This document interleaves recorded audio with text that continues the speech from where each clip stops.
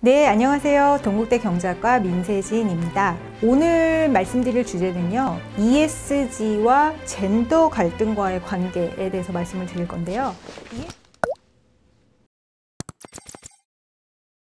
ESG라고 하면 환경, 사회, 그리고 기업 지배구조에 대한 여러 가지 요소들이잖아요. 근데 이 젠더 이슈는 S하고 G, 즉 사회하고 지배구조 쪽에 녹아 들어가 있습니다. 사회 분야에 있어서는요. 기업 안에 있는 남성 근로자와 여성 근로자 간의 임금 격차라든지 또는 아주 단순하게 남성과 여성의 구성 비율이라든지 그런 것들도 보도록 되어 있고요. 그 다음에 또 지배구조 측면으로 가면 그 기업의 의사결정을 그 책임지는 이사회 같은 곳에 성별 구성이 어떻게 되어 있는지 이런 것들도 포함을 시키도록 되어 있습니다. 물론 환경 부분에 있어서야 이런 젠더 이슈가 들어갈 여지가 없겠지만 사회라든지 지배구조 모두에 있어서 젠더 격차라는 부분이 고려가 되도록 되어 있거든요.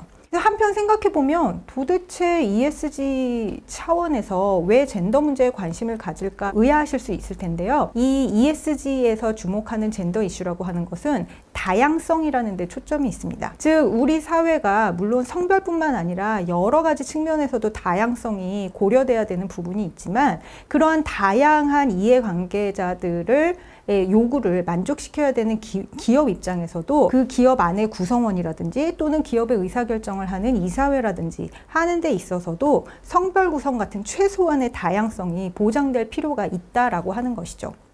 자 그럼 한국 기업들에 있어서는 사실 어떻게 보면 이 성별 격차에 관한 문제가 더 갈 길이 먼 이슈일 수 있습니다. 왜냐하면 한국 기업들의 성 다양성은 훨씬 더 열악한 상태이기 때문이죠. 몇 가지 지표를 말씀드릴 수 있을 것 같아요. 영국의 굉장히 유력한 경제 시사 주간지인 The Economist라고 하는 잡지가 있는데요. 그 The Economist에서는 매년 3월 8일 여성의 날에 세계 여성의 날에 맞추어서 Glass Ceiling Index 유리천장 지수라는 것을 발표를 하고 있습니다. 근데 이 Glass Ceiling Index는 OECD 회원국인 29개 나라에 대해서 여러 가지 측면에서 여성이 좀 더 높은 자리로 가는데 얼마나 어려움이 있는가라고 하는 것을 유리 유리천정으로 표현을 해서 그것을 지수화해서 발표를 하고 있는데요. OECD 회원국 29개국 중에 우리나라는 지수가 발표된 이후로 부동의 꼴찌를 유지를 하고 있습니다. 사실 생각해보면 뭐 29개국 중에 꼴찌 정도는 할 수 있는 거 아니야? 라고 가볍게 생각하실 수가 있을 텐데요. 그 Glass Ceiling Index 유리천정 지수의 결과와 또 약간 상반된 결과를 보여주는 것 같은 지수도 있습니다. UN 개발 계획이라고 하는 곳에서 내놓은 성불평등 지수라는 것이 있는데요. 성불평등 지수에서는 작년도 결과에서 무려 162개국 중에 우리나라가 11위나 차지했습니다. 그래서 오 잘했는데 이런 생각을 하실 수도 있을 텐데요. 사실 안타까운 것은 이 지수를 뜯어보면 우리가 11위씩이나 차지하게 된 것에 결정적인 영향을 미친 그러니까 긍정적인 영향을 미친 지표가 하나 있는데 그게 바로 여성 청소년의 출산율입니다. 여성 청소년의 출산율이 왜 중요하냐면 사실 사실은 이 지표가 15살에서 19살 사이에 여성 청소년 1000명당 아이가 몇 명이 태어났느냐라고 하는 것이거든요.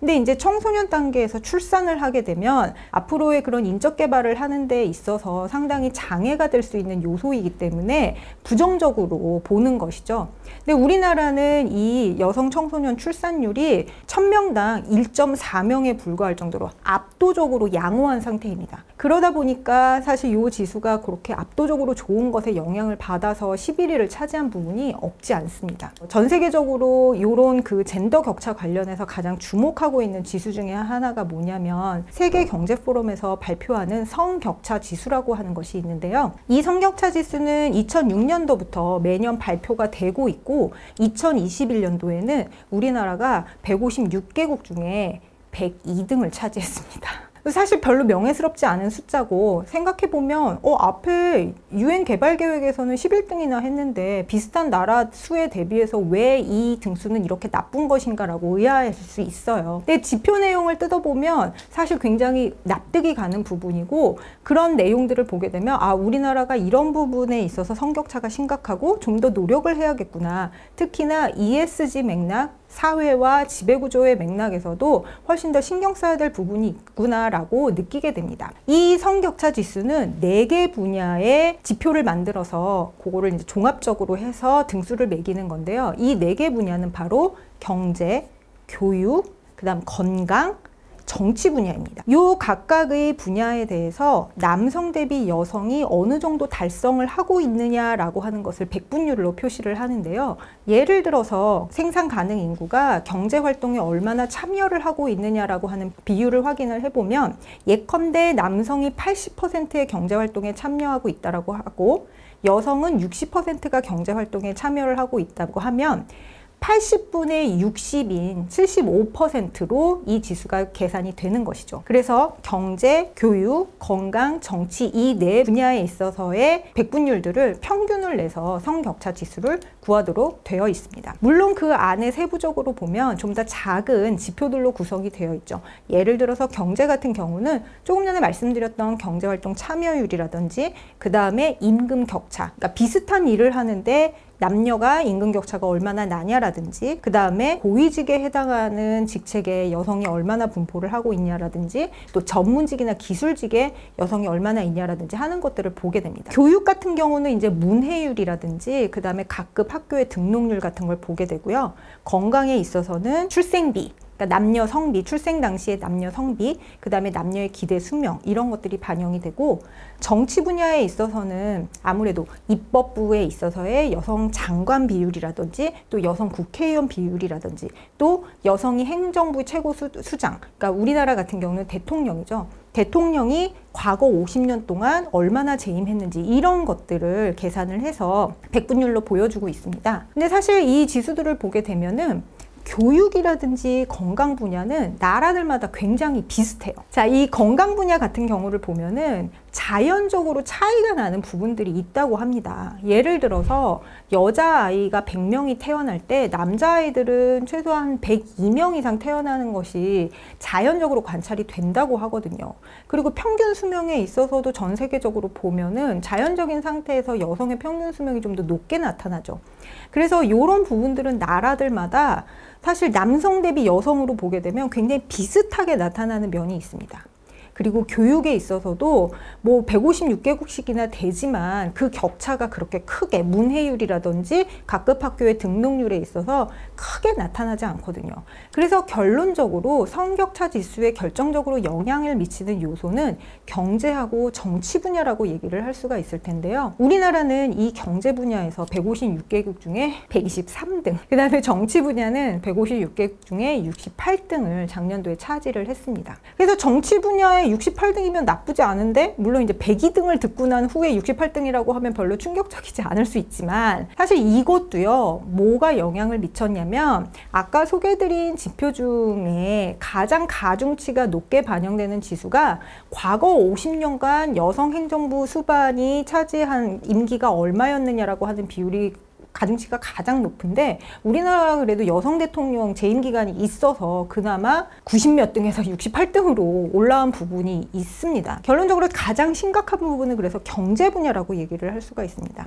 경제 분야, 경제활동 참가율, 남성 대비 여성이 얼마나 참여하고 있느냐 경제 활동에 임금 격차 그리고 고위직의 여성들이 사회 각국의 고위직에 얼마나 여성들이 포, 진해 있느냐 이런 부분인데 바로 이 부분이 ESG 맥락에서 여성 근로자, 남성 대비 여성 근로자의 비율이라든지 남성 임금 대비 여성 임금의 비율이라든지 하는 부분하고 직접적인 연관이 있고요. 또한 지배구조 측면에서도 이 사회에서 여성이 얼마나 차지하고 있느냐라고 하는 것과도 굉장히 밀접하게 연관이 되어 있습니다. 그냥 단순히 뭐 등수가 이렇게 나타났다 아 좀 떨어지는구나 이런 차원이 아니라 국가적 차원에서 좀 더 면밀히 관찰을 해보고 어떤 부분에 문제가 있고 어떤 식으로 제도 개선을 해서 이 지수를 끌어올릴 수 있을 것인지 고민해 볼 필요가 있다라는 것이죠.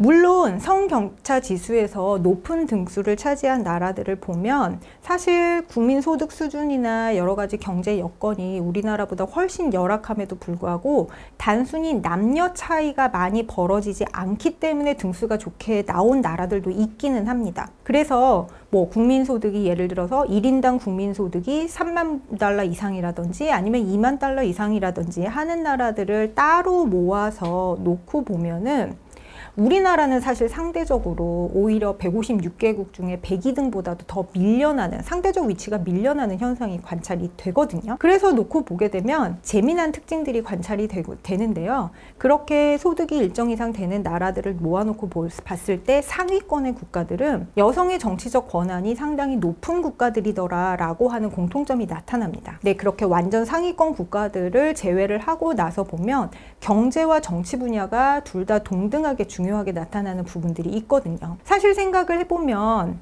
어, 요즘 우리가 젠더 갈등에 대해서 굉장히 우려하고 또 앞으로 어떻게 될 것인가 관심을 많이 갖게 되는데요. 제가 물론 젊은 남성도 젊은 여성도 아닙니다만 젊은 남성의 입장에서 보면은 지금까지 살아온 경험에 비추어서 봤을 때 도대체 무슨 남녀 차별이 있다는 것이냐라고 의아하게 생각하고 그 다음에 이러한 성불평등 환경에 쉽게 동의하기 어려운 부분이 분명히 있을 것 같은데요. 또 젊은 여성 입장에서 보면 지금까지는 그렇게 차별을 많이 당해오지 않았다 하더라도 앞으로 살아가게 될 환경에 있어서 본인이 얼마나 열악한 처우를 받게 될 것인가를 미리 걱정하고 고민하게 되는 현상은 또 분명히 있을 것 같습니다. 어떤 관점의 차이, 그 다음에 바라보는 시점의 차이라고 하는 것이 좀 해결하기 어려운 젠더 갈등의 원인이 아닐까라는 생각이 들고요. 마침 전 세계적으로 ESG에 대한 관심이 높은 현재 우리나라 상황이 이렇게 성격차가 벌어져 있는 심각한 상황이라는 것을 인식을 하고 큰 틀에서 해결점을 찾도록 다 같이 머리를 맞대는 것이 어떨까라는 생각입니다.